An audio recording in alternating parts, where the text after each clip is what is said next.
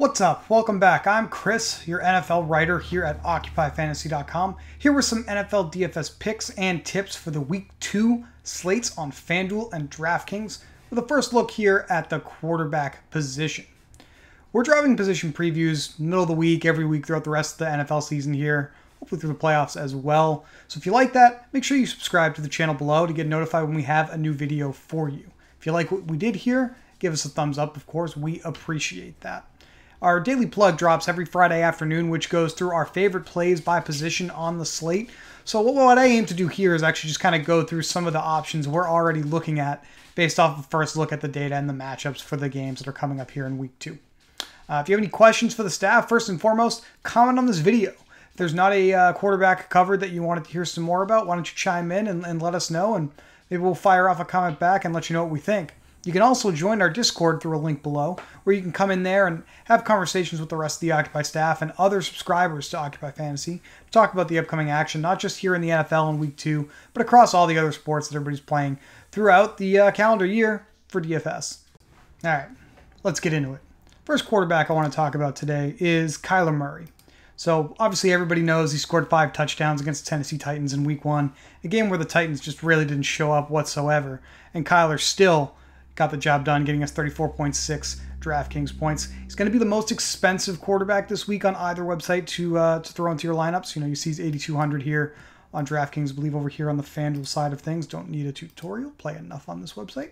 Um, Kyler Murray is 8,700 this week on FanDuel NFL. So, you know, he's going to be expensive for us to play. He's probably still worth considering in high risk environments because Arizona is uh, in a good matchup here against the Vikings, another team that did fairly well on offense, showed some promise, and has some uh, ability to kind of keep the pace for this game high on both ends for both offenses. Um, other benefit of Kyler Murray, obviously, is the action with his legs. Kyler is effectively, I don't want to say the goal line back, but he is very involved in the red zone. He had the only carry, or rush attempt, I should say, inside the five last week against the Titans, which turned into his rushing touchdowns. So Kyler Murray would like him very much this week. Other quarterback, and he's a little bit of a, a better deal, I think, over here on DraftKings here in week two. It's the GOAT. It's Tom Brady. You know, 6,900 this week. Tampa Bay Buccaneers are huge, I believe 12, 12 and a half point favorites against the Atlanta Falcons this week. The thing that's going to be tough here with the Buccaneers is, um, you know, we can kind of look at them as a team here while we talk about Tom Brady.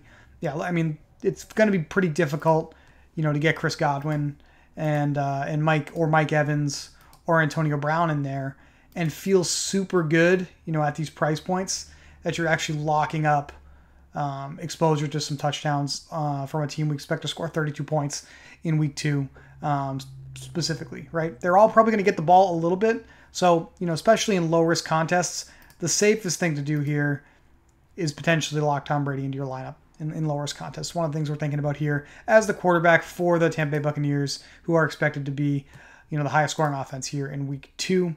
Obviously, there's a there's no rushing upside with Tom Brady. He's just a a traditional pocket passer, but the best one of all time. So definitely worth consideration here as we get into week two. Kind of like both sides of a game this week, and that might be a little bit of a hint at one of the games that we're advocating for stacking in high risk contests this week. Um, and that's Justin Herbert of the uh, Los Angeles Chargers, and obviously Dak Prescott, his opposing quarterback this week from the Dallas Cowboys. You know, we saw all throughout 2020 that the Dallas Cowboys liked playing at a super fast pace in neutral situations, especially.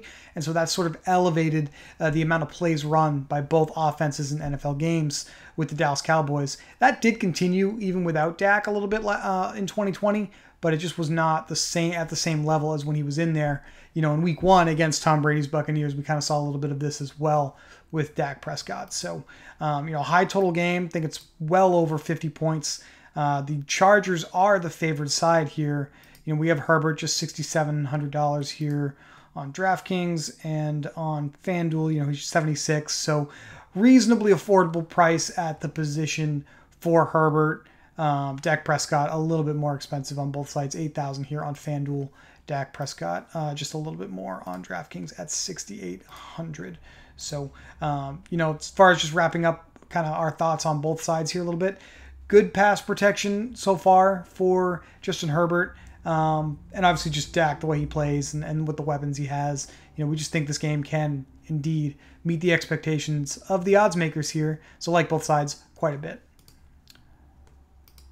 The, uh, the data nerds, if you will, really love the Los Angeles Rams in week one. I believe they were graded out as the best overall team from an expected points added per play basis, you know, on offense and defense. And a lot of that had to do with the performance of this man under center.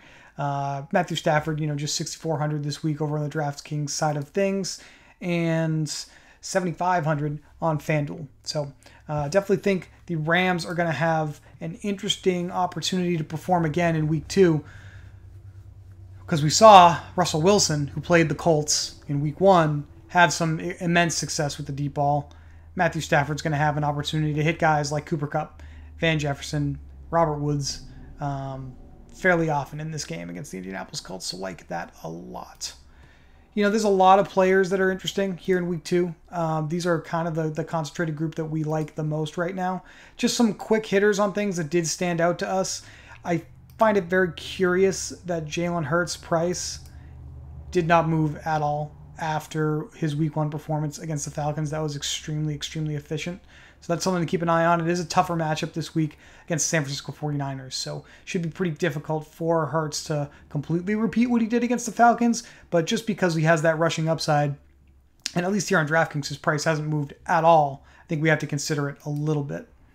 Um, you know, I said we like Kyler Murray off the top here. So if you're into the game stack type of thing and high risk contests, definitely makes sense to give Kirk Cousins some consideration.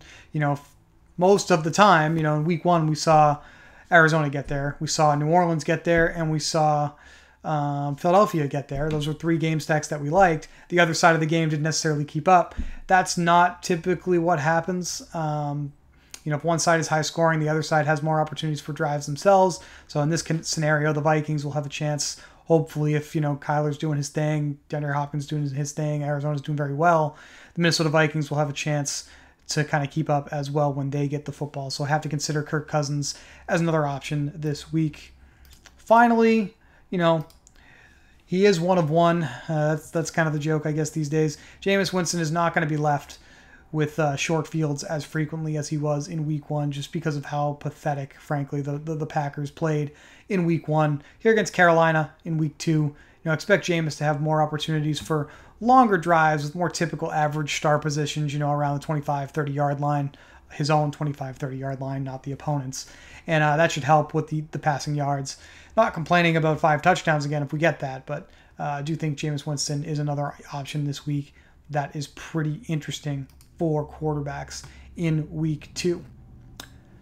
That's going to do it for this rundown, folks. For more information, keep an eye out for our daily plug at occupyfantasy.com, where we will give from this group of guys we just discussed our favorite expensive and value plays at the quarterback position you can use in your lineups this Sunday.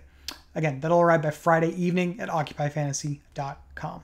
Plug will also include some recommendations for our favorite expensive and value players uh, at every other position. So, uh, keep an eye out for that. There'll be game stack ideas in there for high risk contests, contest recommendations to consider based off of the amount of dollars you have at your disposal to play, you know, every single weekend, um, and just general low and high risk roster construction tips tailored to the slate based off of our evaluation of the conditions of the slate. So you won't want to miss that. Again, make sure you're subscribed to the channel below. You'll get an alert when all of our videos are uploaded. All of our live streams are scheduled, so you want to make sure that you do that. Uh, these position previews are going to hit in the middle of the week every single week for the rest of the NFL season. Uh, so I appreciate you watching. Um, we also have all the content that you know Brian Jester's is doing, where he's putting out our showdown previews. Uh, they're doing the Million Dollar Mission uh, review of his 150 max lineups on FanDuel and DraftKings and the Millionaire Maker contests. Those those hit every Tuesday night, so make sure that you're catching those as well. Lots of things going on in the Occupy Fantasy YouTube channel this year. Can't wait to bring you more content each and every week. Um, again, if you like this video, give us a thumbs up. We sure would appreciate that.